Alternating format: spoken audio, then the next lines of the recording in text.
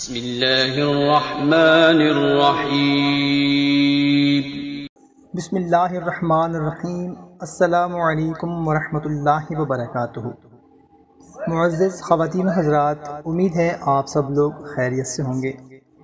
मोहतरम सामीन कराम आज की वीडियो में मैं आप लोगों को माह रबीउल अव्वल का चाँद नज़र आने के बाद सिर्फ़ एक सूरत पढ़ने का एक ऐसा अमल बताने लगा हूँ। सिर्फ़ एक सूरत आपने पढ़नी है इन अल्लाह आपके घर से तमाम तकलीफ़, परेशानियाँ, मुसीबतें ख़त्म हो जाएँगी इन अगर तंग दस्ती है, ख़त्म हो जाएगी।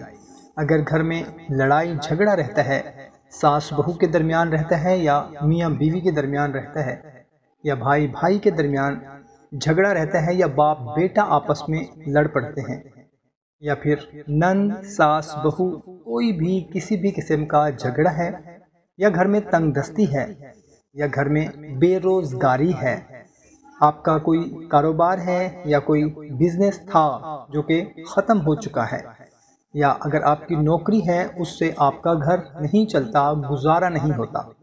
आप जिसकी वजह से परेशान हैं, बच्चों की शादियाँ करनी हैं, घर के अखराज पूरे नहीं होते, या फिर बच्चों के रिश्तों की वजह से परेशान हैं। तो कोई भी आपका मसला है, कोई भी आपकी परेशानी है, माह रबीउल अव्वल।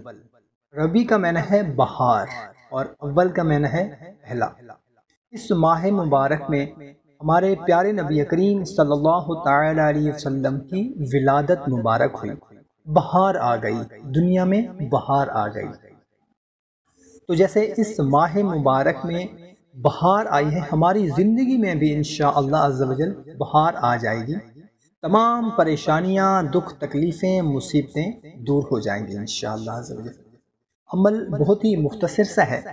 बताने से पहले आपसे गुजारिश है कि अगर चैनल को सब्सक्राइब नहीं किया हुआ तो चैनल को सब्सक्राइब कर लें और वीडियो को अभी लाइक कर दें। जजाकल्ला तो मोहतरम सामीन कराम जब आप माह रबीउल अव्वल का चाँद खुद देख लें, कोशिश करें कि खुद देखें अगर ख़ुद किसी वजह से नहीं देख सकते, किसी मजबूरी की वजह से, और आपको कंफर्म हो जाए, आपको पता चल जाए मीडिया पर या वैसे किसी के थ्रू आपको पता चल जाए कि माह रबीउल अव्वल का चाँद नज़र आ गया है तो आपने यकसुई के साथ उस रात किसी भी वक्त आप ये अमल कर सकते हैं।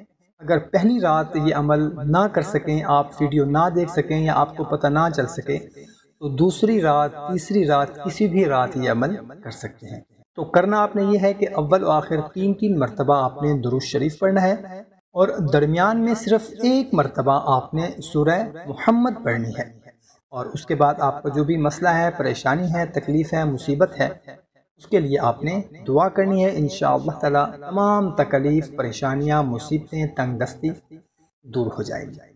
तो भाइयों और बहनों, सदक़ा जारिया समझ कर इस वीडियो को अपने तमाम दोस्त अहबाब के साथ भी शेयर करें, क्योंकि अच्छी बात को दूसरों तक पहुंचाना सदक़ाए जारिया है। वीडियो अच्छी लगी हो तो हमारी हौसला अफजाई के लिए लाइक भी ज़रूर कर दें। जजाकल्ला